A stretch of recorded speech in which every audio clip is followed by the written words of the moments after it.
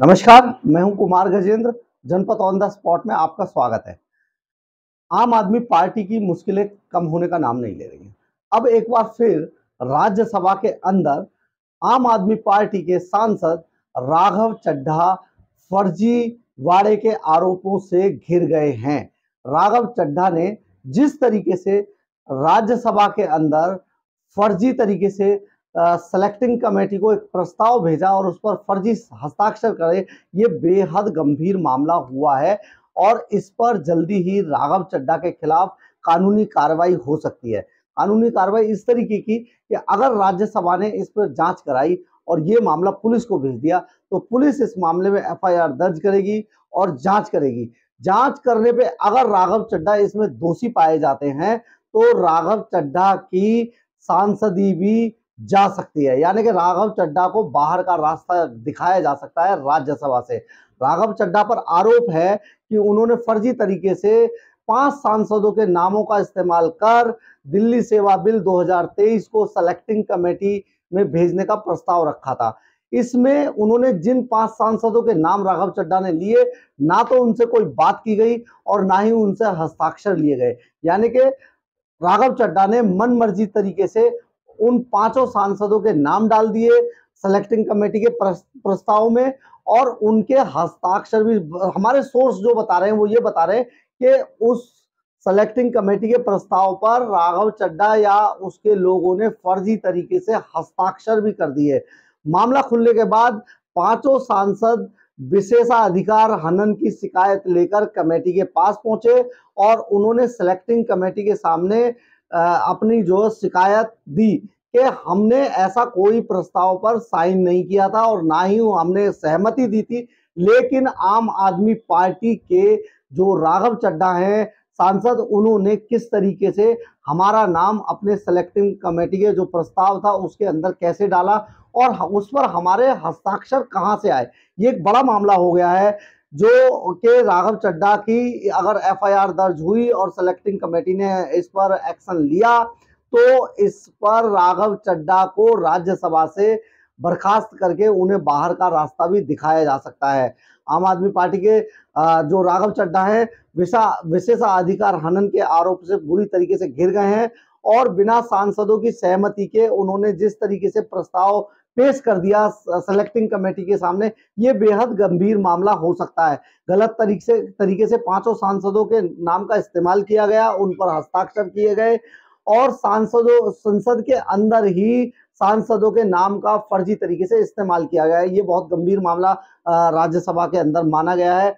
जानबूझकर ये भी कहना है कि जानबूझकर बीजेपी के सांसदों के नामों का इस्तेमाल किया गया और और इस पर सेलेक्टिंग कमेटी को इस प्रस्ताव पर जो बिल था, जो दिल्ली सेवा बिल था 2023 उस पर सहमति देकर उसे सेलेक्टिंग कमेटी के पास भेजने का पूरा प्रस्ताव दे दिया गया।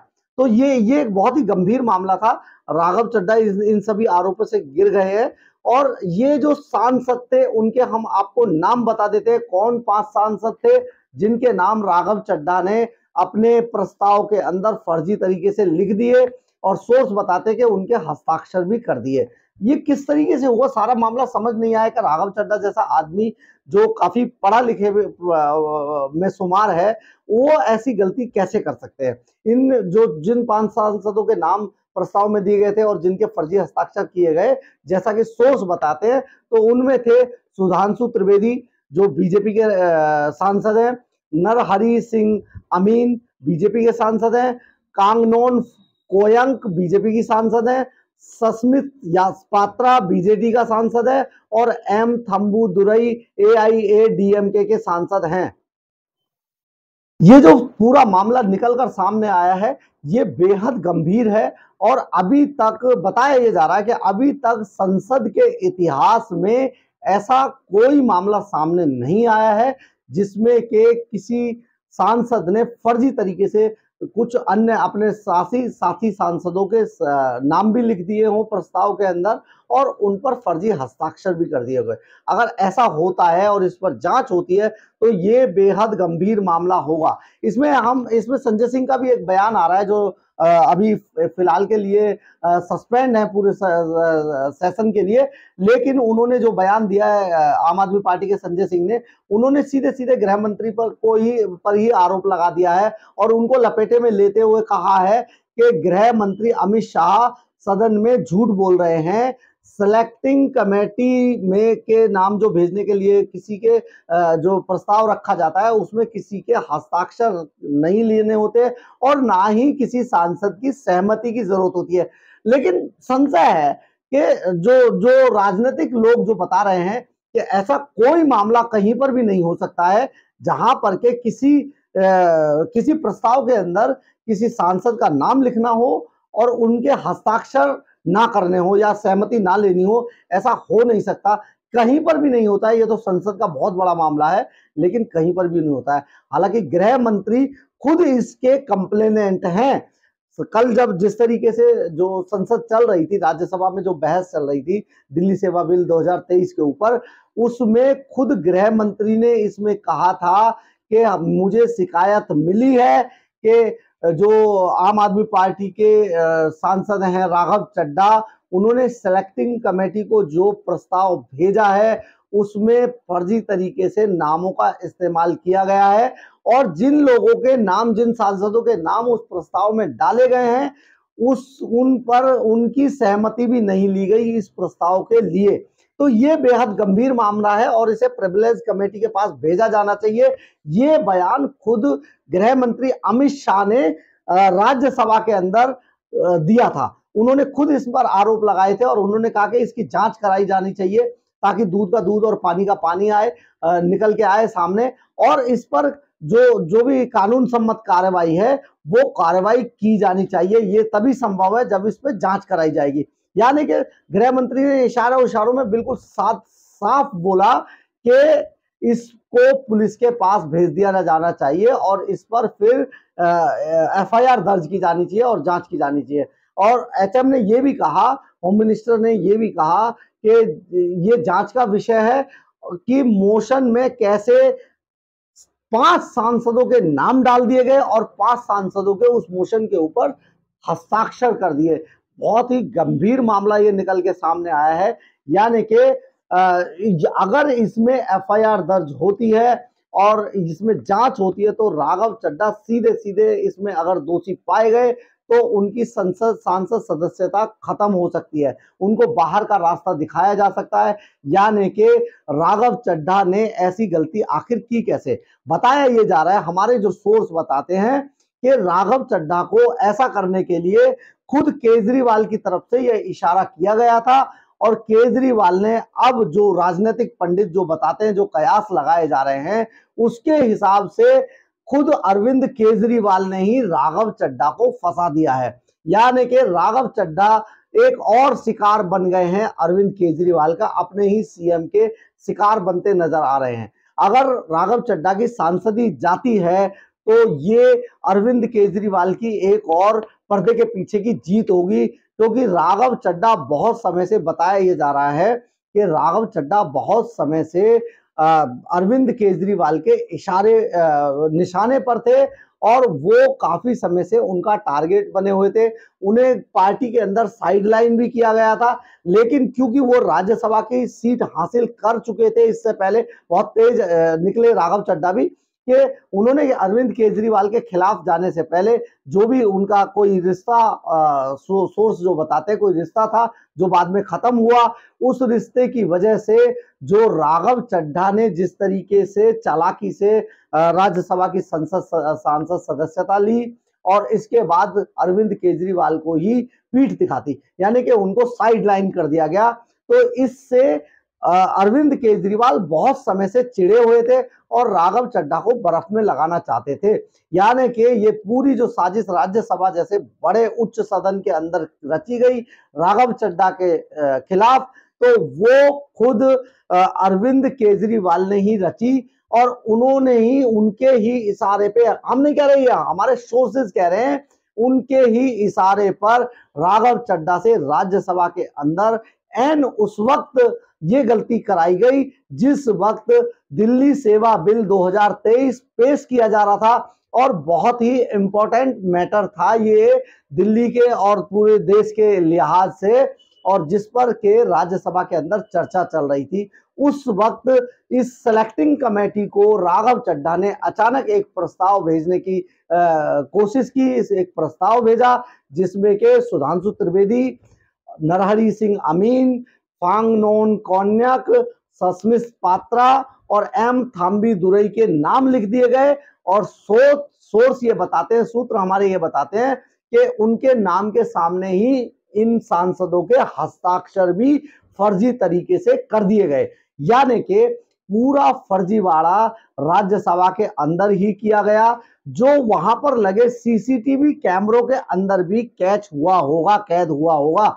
और क्योंकि वहाँ पर चैनल, लोकसभा चैनल चलता है, जिसको अब राज्यसभा और लोकसभा चैनल को दोनों को मिला के संसद चैनल टीवी कर दिया गया है तो संसद टीवी के अंदर भी ये पूरी वारदात कैद हुई होगी, जिस वजह से राघव चड्डा किसी भी तरीके से इस मामले को नकार नहीं सकते हैं। यानी कि सीधे सीधे राघव चड्डा अब अयोग्य घोषित करार कर दिए जाएँगे, अगर ये मामला पुलिस के पास पहुँचता है और इसके आगे की भी जाँच पड़ताल अगर होगी तो इस मामले में जो परतें खुल के सामने आएँगी, वो जाँच के बाद ही आएँगी और ये पूरा मामला राघव चड्डा और आम आदमी पार्टी के खिलाफ जाएगा। यानी कि राज्यसभा से आम आदमी पार्टी के एक और सांसद की विदाई जल्दी ही संभव है, जो कानून के सिकंजे में बुरी तरीके से फंस चुके हैं। यानी कि राघव चड्डा से जो है अरविंद केजरीवाल ने पर्दे के पीछे जिस तरीके से दुश्मनी निकाली है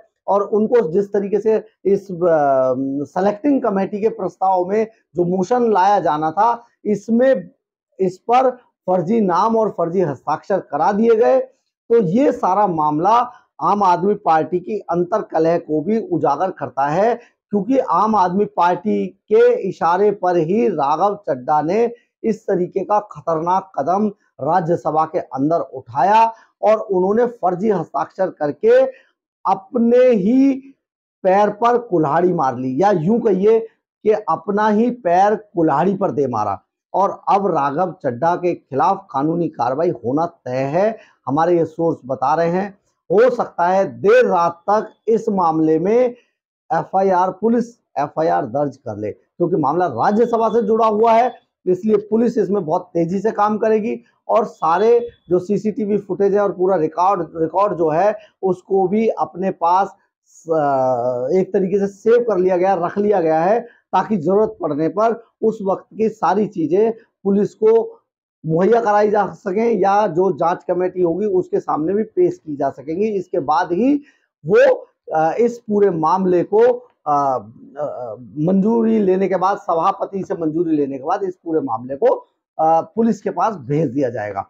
यानी राघव चड्डा अब पूरी तरीके से घिर चुके हैं और जल्दी ही उनकी जो संसद सदस्यता है, वो जाने वाली है। ये ऐसा दूसरा मामला होगा। इससे पहले राहुल गांधी की संसद सदस्यता जा चुकी थी और लेकिन उनका मामला दूसरा था, क्योंकि उन्होंने जो है अपनी एक चुनावी सभा में मोदी सरनेम को लेकर एक तरीके का सवाल खड़ा किया था। उस उस पर जो अनाप शनाप उन्होंने बोला था, उसको लेकर उनके ऊपर एक मुकदमा दायर किया गया था गुजरात की अदालत में, जिसके बाद वहाँ से दो साल की सजा मिलने के बाद राहुल गांधी की संसद सदस्यता चली गई थी। हालाँकि अब संसद सदस्यता सुप्रीम कोर्ट के आदेश के बाद बहाल कर दी गई है। माननीय सुप्रीम कोर्ट ने कहा, इस पूरे मामले को नकार, लगभग नकार दिया है और उनके कहने पर अब राहुल गांधी को संसद संसद के अंदर एंट्री मिल चुकी है। इसके अलावा उन्हें आज उनका जो बारह तुगलक रोड का बंगला था,